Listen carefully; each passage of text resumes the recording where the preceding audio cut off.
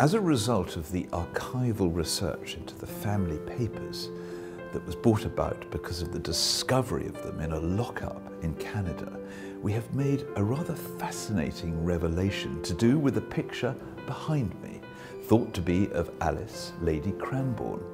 This has been hanging with that identity in Sheffield Art Gallery.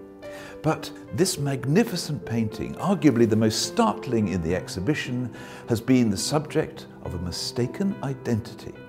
She's not, as the frame boldly tells us, Lady Cranborne. Instead, Lady Wimborne, one of the most magisterial women of the period, a monarchical major society figure. She also knew exactly how she wanted to look.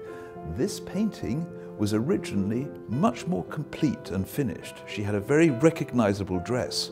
She didn't like it, so Ambrose McEvoy, forever accommodating, decided to scrape it off.